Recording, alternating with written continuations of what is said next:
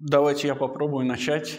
Из-за нашего сегодняшнего состава я постараюсь быть э, максимально придерживающимся нашего текста, изначальных тезисов, и быть не спешащим, не прыгающим с темы на тему. Мы начинаем с представления о политике, или вернее с представления о том, что суждение о политике в сегодняшнем мире так или иначе связано с суждением о государстве. Государство кажется чем-то политическим par excellence, а политика, соответственно, чем-то государственным. И таким образом суждение о политике целиком и полностью более или менее оказывается связанным с тем, каким мы себе представляем государство. Но представление о государстве, хотя оно и кажется нам часто детальным или полным, хотя оно и связано с историей, то есть мы прекрасно представляем себе, каким государство было, каким оно является, и даже представляем себе, каким оно должно быть, тем не менее на поверку оказывается не до конца осведомленным. Потому что за представлением о государстве, на мой взгляд, на самом деле скрывается более фундаментальное представление. Представление о человеке. И если это действительно так, как я и рассчитываю показать, то то деление режимов, которое будет предложено сегодня в связи с рассмотрением природы или природы в кавычках человека и ее связи с представлениями о государстве будет превосходить то исторически сложившееся деление режимов, которое мы наблюдаем в политической теории, как, например, деление режимов, предложенное Аристотелем, или деление режимов, пересмотренные затем Макиавелли и Гоббсом. Правда, ставя задачу рассмотреть связь между природой человека и целями, задачами и функциями государства, надо понимать ограничения нашей сегодняшней задачи. Ограничений этих несколько. Во-первых, мы говорим строго о теории. Наша задача сегодня не входит выяснить, какая из концепций государства является более предпочтительной, какая из концепций человека правильной. Во-вторых, мы занимаемся теоретическим углублением. Мы пытаемся выбраться, и этому посвящен весь наш семинар, из той лакуны, в которую мы загнаны, будучи неспособными увидеть альтернативы мы занимаемся именно поисками альтернатив. В-третьих, процесс исследования трех режимов потребует от нас обобщения работ некоторых философов. Но это обобщение возможно только в том случае, если сами их позиции останутся несмешиваемыми, останутся нетронутыми. Проще говоря, Аристотель не Платон, а Томас Гоббс не Джон Лок – но мы должны четко понимать, что разрыв между Аристотелем и Платоном, хотя и является существенным, но на фоне разрыва между этой парой и парой Гоббс-Лок кажется практически несуществующим. То есть мы можем пренебречь различиями между классиками для того, чтобы подчеркнуть различия между классиками и либералами, или различия между либералами и Ницше. Наконец, надо признать, что хотя сегодня мы будем говорить о трех режимах, этих режимов на самом деле к сегодняшнему дню гораздо больше. Но большинство из них либо вписываются в нашу триаду как ее подразделы, и потому ими можно пренебречь, либо являются негативными, то есть отрицающими роль государства. Вписывающимися режимами, например, оказывается либертарианский режим или, скажем, гегелевский режим тотального государства. А отрицающими оказываются анархистский режим или марксистский режим, то есть коммунистический режим. Конечно, говоря о трех режимах, есть серьезный соблазн расположить их исторически, по мере их появления. От классики через либерализм к неоклассике. Но проблема заключается в том, что подобное распределение режимов на самом деле создавало бы иллюзию прогрессизма, создавало бы иллюзию движения истории. И эту иллюзию я как раз создавать не хочу. Поэтому вместо того, чтобы начать исторически, мы начнем с режима, который нам больше всего знаком и легче всего понятен, а именно с либерального режима. Природа человека не является особенной. Человек ничем радикально не отличается от других животных. Он управляем инстинктами, и тянется к телесному удовольствию как к благу и избегает телесной боли как зла. Более того, человек не в состоянии определить, что конкретно может считаться абсолютным благом, так как телесные удовольствия релятивны и очень сильно зависят от конкретных факторов, люди не могут согласиться в вопросе о том, что такое благо, в чем именно заключается благо или предельное удовольствие. Зато все люди могут согласиться в том, что заключает в себе предельное зло – потому что основой испытывания всяческих удовольствий телесных является жизнь, а значит предельным злом оказывается ее противоположность – смерть или, выражаясь яснее, насильственная смерть. Страх насильственной смерти, свойственный всем людям как таковым, от младенцев до стариков, от мужчин до женщин, от обитателей Африки до а, обитателей Северного Ледовитого океана, становится источником двух базовых понятий. Во-первых, это понятие естественных прав человека, то есть в первую очередь право на жизнь и того, что обеспечивает жизнь, а во-вторых, всеобщего равенства. При этом всеобщее равенство возникает не из одинаковости людей. Люди не одинаковые и не могут быть одинаковы. Всеобщее равенство возникает из отношений человека и смерти либо из представления о том, что каждый человек, каким бы слабым и глупым он ни был, может причинить смерть каждому другому, либо из представлений о том, что человеческая жизнь не принадлежит самому человеку, и потому человек не вправе распоряжаться ни своей, ни тем более чужими жизнями. Однако голая жизнь, как уже было сказано, не интересует людей, потому что жизнь сама по себе не является ценностью. Ценностью является удовольствие, которое можно получать при жизни. Но это телесное удовольствие оказывается непосредственно связанным с вещами.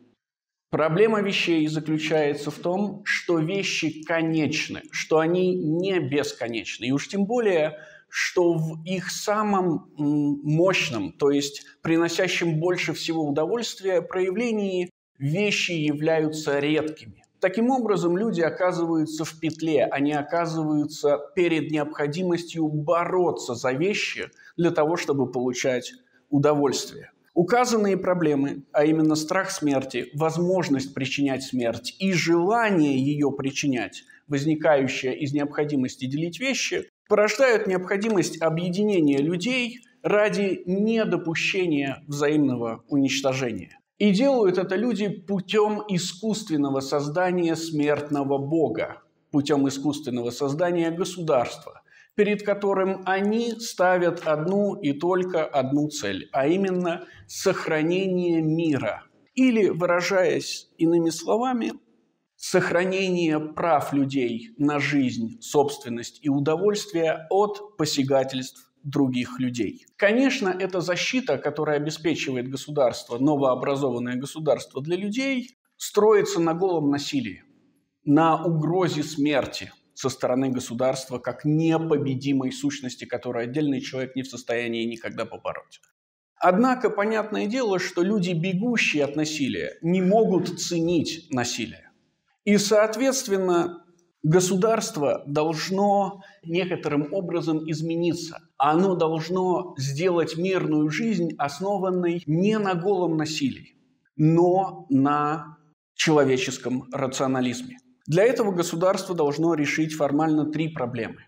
Первая – как не допускать споров между людьми. Вторая – как мирно разрешать возникающие между людьми споры. И третья – как не давать тем, кто находится вне государства, нарушать мирную жизнь тех, кто находится внутри него.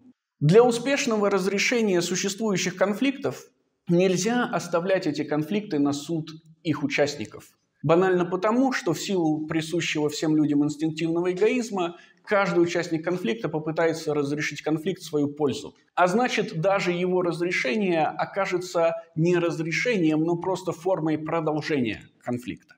Для того, чтобы конфликт был разрешен, нужно несколько вещей. Во-первых, нужен независимый суд, который бы был одновременно безличностным. Иными словами, судьей в конфликтах между людьми не могут быть люди – судьей в конфликтах между людьми может быть только закон, потому что закон имперсонален. И более того, так как само государство является или может являться участником конфликтов, этот закон должен превышать те власти, что существуют в государстве. Правление закона должно стать абсолютным. Для того, чтобы не допускать конфликтов, государство должно сделать закон известным для всех, а это требует от государства массового просвещения людей. Иначе мирная жизнь, то есть жизнь, подчиненная рациональности, невозможна. Рациональное поведение становится безопасным только тогда, когда оно становится осведомленным. Наконец, государство должно защищать своих членов от внешних врагов, от тех, кто находится вне государства и пытается принести с собой конфликты, которых государство внутри себя пытается избежать. И для этого оно, как индивид, как и отдельный человек, находящийся в догосударственном состоянии, имеет право привлекать любые средства, которые посчитает нужным, в том числе требовать от собственных членов не только материальные, но и физические жертвы. Либеральное государство также оказывается перед необходимостью защищать свободу своих граждан, свободу в достижении удовольствия или счастья. Но оно никогда не может определять это счастье. Оно никогда не может судить об удовольствиях, о человеческом благе как таковом. Причина этого заключается не только в том, что люди не могут согласиться по поводу блага в силу естественных различий, но также и в том, что стремление к благу является инстинктивной деятельностью. И сам факт того, что люди имеют право, например, защищать себя, гарантируется именно тем, что самозащита инстинктивна, что она не является результатом рационального решения, а значит не подчинена человеку. То есть люди не могут быть наказаны за те вещи, которые не находятся в их власти. Но естественные стремления к телесным удовольствиям также не находятся во власти людей. Люди не в состоянии контролировать свою речь, свое желание обогатиться, поэтому государство должно обеспечить им свободу, свободу слова, свободу накопления, свободу совести. Более того, государство должно не просто дать им эту свободу, то есть позволить им реализовывать свои естественные животные наклонности, оно должно создать такие условия, при которых эта свобода не будет иметь никаких препятствий. Государство должно позволить людям заниматься преследованием счастья. Причина этого заключается в том, что если государство попытается остановить людей в следовании своим низменным инстинктам или исправить эти низменные инстинкты, оно не только нарушит уже указанный принцип неответственности человека за то, что он не контролирует, но и приведет к конфликтам, потому что люди не могут быть удержаны от естественных стремлений, от стремлений к телесным удовольствиям. И потому всякий, кто попытается остановить их, будет рассматриваться как противник. Это, конечно, нарушит цель самого государства. Наконец, так как либеральное государство искусственно, вся его власть не принадлежит ему. Его власть является суммой власти тех людей, что в него вступили. А это значит, что именно эти люди, члены государства, являются судьями в том, насколько государство эффективно в достижении своей цели. И значит, они вполне в силах и в состоянии не только судить о том, эффективно ли государство, но и переделывать его по собственному желанию, так как они являются единственными носителями его власти. Рассмотрев либеральный режим, стоит перейти к его противоположности, к другому представлению о природе человека. Природа возвысила человека над животными. Она сделала его особенным, дав ему то, что можно именовать добродетелью. Наличие специфически человеческого в человеке может и не означать наличие естественной цели для человека, но оно не может не означать наличие естественного стандарта, наличие возможности чистого суждения о человеке как человеке. И хотя нам трудно понять, в чем именно заключается добродетель, мы могли бы смело сказать две вещи. Первое люди не равны в добродетели. Второе.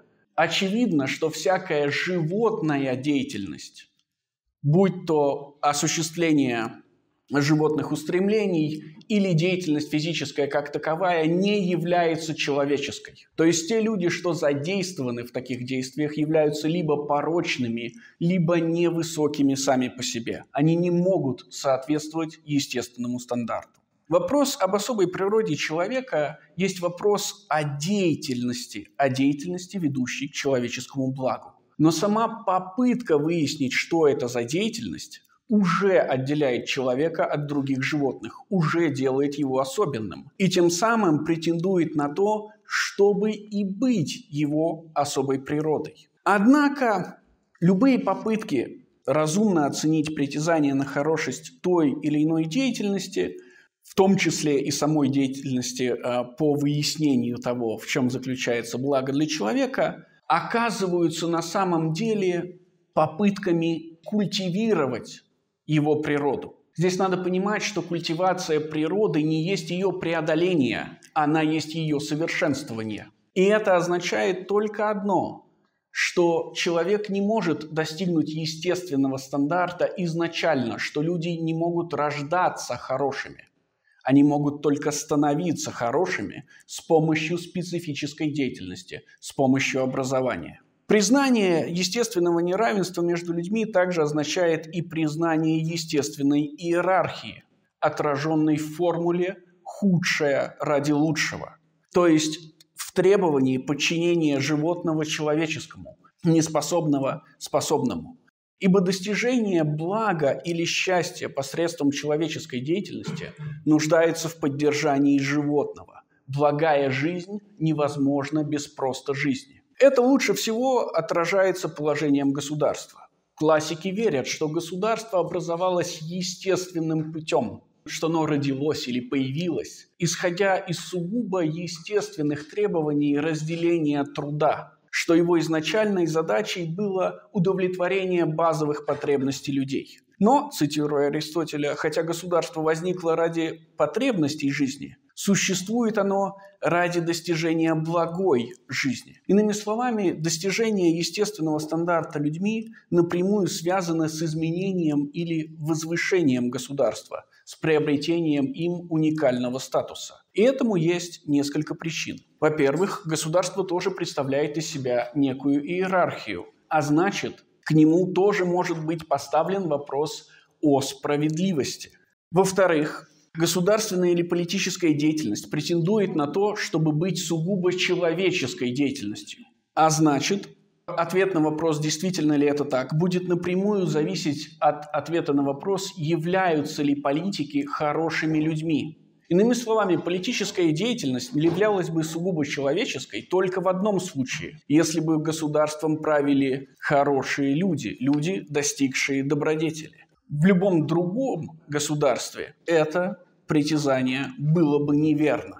Затем, хотя государство и появилось в результате проявления и ради удовлетворения базовых потребностей людей, хорошее государство должно было быть помощником в осуществлении человеческой деятельности, то есть сугубо человеческой деятельности. Политическая деятельность должна была бы заключаться в поддержании государства в хорошем состоянии то есть в первую очередь в обеспечении необходимых механизмов достижения добродетели. И как мы уже понимаем, эти необходимые механизмы напрямую связаны с образованием в высшем его проявлении, то есть с достижением добродетели путем образования. Но так как естественная иерархия естественно разделяет людей, Государственное образование не, мо- не могло быть и не могло бы быть когда-либо сделано универсальным. Оно должно было бы быть партикулярным, помогая достичь добродетели тем, кто на это способен, и не давая порокам тех, кто не способен на добродетели, распространяться или брать над ними верх. Государственное образование должно было бы быть разным для разных людей. Таким образом, если вернуться к претензии политики, то теперь придется сказать, что высшая человеческая деятельность, будь это притязание верным, была бы всегда зациклена на самой себе и достигала бы только саму себя и ничего вне себя. Достижение блага считают классики, и есть счастье. Но это означает, что так как благо предопределено природой, и так как люди не равны, подлинно счастливыми могут быть только единицы. Или, выражаясь иначе, подавляющее большинство людей обречено на то, чтобы быть несчастными. В связи с этим государство не может добиться своей цели, не может добиться для них благой жизни как таковой. Но оно может сделать их жизнь сносной, то есть не дать их порокам превратить их жизнь в несчастную жизнь. Кроме того, так как природа человека неизменна и естественная иерархия неизменна, государство, то есть хорошее государство, также не могло бы быть изменяемо. Даже несмотря на то, что оно должно было бы постоянно подавлять плохих людей. Или, э, выражаясь известной нам формулой, хотя не дело справедливого человека вредить кому-либо – действия справедливого человека по недопущению нанесению себе вреда плохими людьми вполне могут восприниматься этими плохими людьми как тирания в высшем ее проявлении, как полное господство и полный контроль над их жизнями, только осуществляя который им не дается шансов проявить свою порочность и принести себе и окружающим вред. Не такую картину мы видим, когда переходим к режиму, который я по своей глупости и отсутствию воображения называю неоклассическим. Это не неоклассика ни в коем случае, я хочу, чтобы вы это понимали. Итак, нет никакой особой человеческой природы. Пожалуй, даже нет никакой человеческой природы как таковой. Изначальный человек ничем вообще не отличается от любых живых организмов, от животных, от грибов, от бактерий.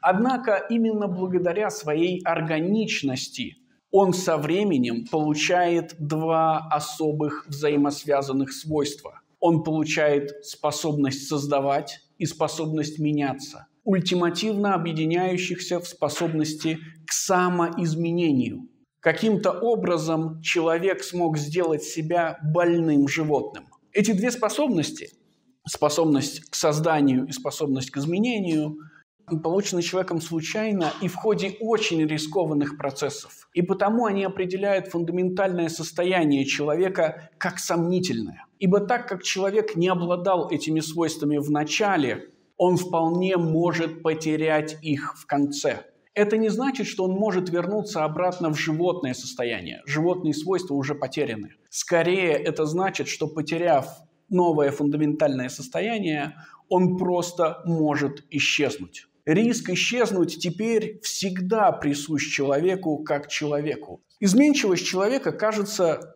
должна делать относительными всякие и любые представления о благе и зле для него – то, что было благом в начале его существования, теперь вполне может являться для него злом. И наоборот, то, что является злом сейчас, в будущем вполне может оказаться благом. Однако эта релятивистская позиция поверхностна. Дело в том, что благодаря тому, что мы теперь знаем о фундаментальном состоянии человека, о двух его базовых свойствах, мы легко можем представить их себе как абсолюты суждения о человеке.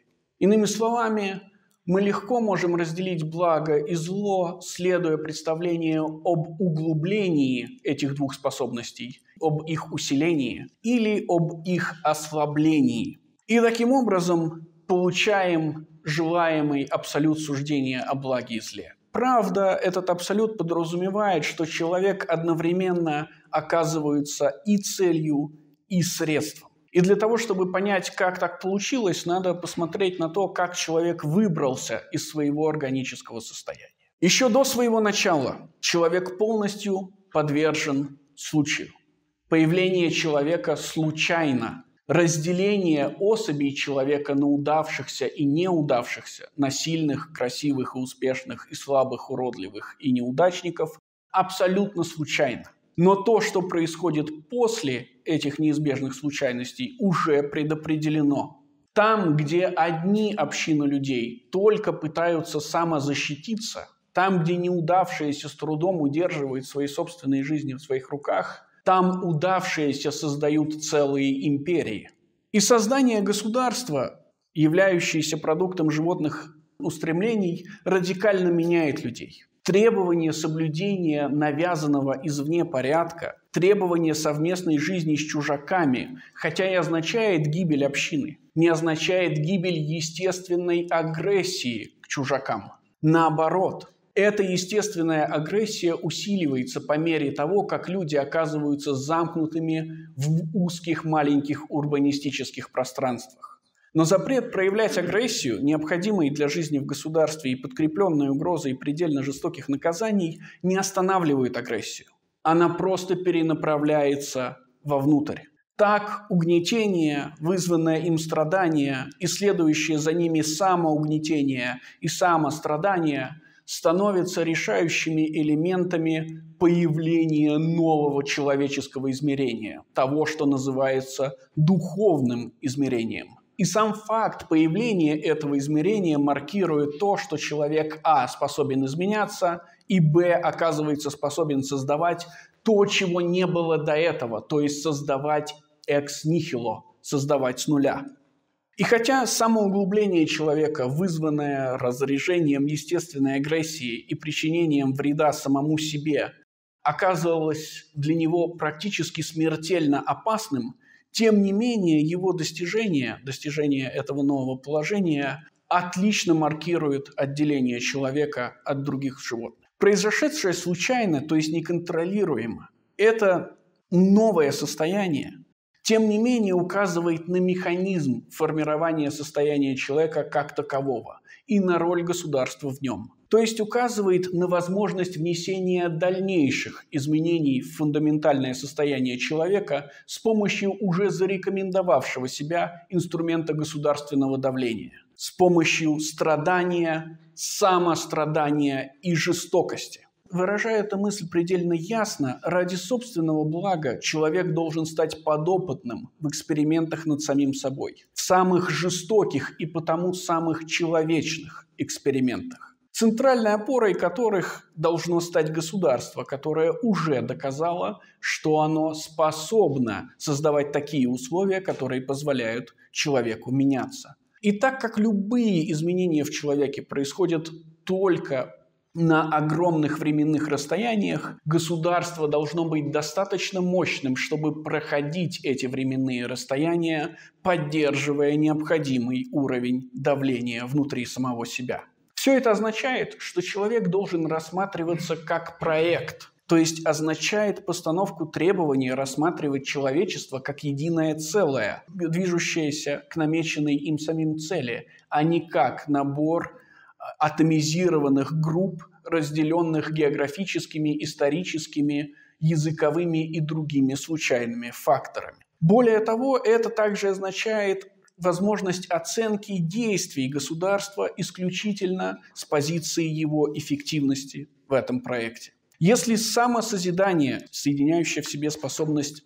к изменению и способность к созданию, является сугубо человеческой деятельностью, то государство должно не только позволять или поощрять, но и прямо насаждать ее. Это означало бы, что там, где такая деятельность затруднена, давление государства должно было бы быть предельным, в то время как там, где такая деятельность развита предельно, государство должно было бы практически исчезать. Иными словами, оно должно было бы отражать иерархию людей, отражать возникающее неравенство. Кажется, что довольство собой и бездействие, довольство и декаданс связаны, и потому можно ожидать прямой связи между недовольством и действием, между несчастьем высшего типа и действием высшего типа. И так как высшая деятельность и изменчивость связаны напрямую, то последнее, а значит и углубление человека, безграничны, что доказывает отсутствие связи между благом и счастьем. Проблема счастья для человека снимается. Теперь, и я цитирую, нужно стремиться не к счастью, но к делу. Конечно, изменчивость человека означает, что различные, а подчас и противоположные условия будут требовать различных, а подчас и противоположных решений для его дальнейшего развития.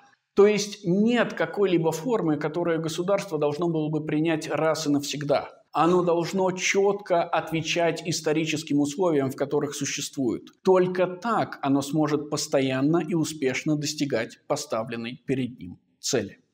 Итак, если, как мне кажется, за это короткое сообщение мне удалось не доказать, но хотя бы показать существование связи между концепцией человека и концепцией государства, то у нас впервые наконец-то появляется выбор, выбор между альтернативами, который освобождает нас от узкого суждения о государстве и, следовательно, политике, и дает нам возможность сделать самостоятельную или новую оценку. Ибо мне кажется, что мы вполне в силах сравнить различные концепции человека, что мы вполне в силах отделить высокое от низкого и потому дать серьезную оценку текущему режиму и текущей политике. На этом я хотел бы остановиться и поблагодарить вас за внимание.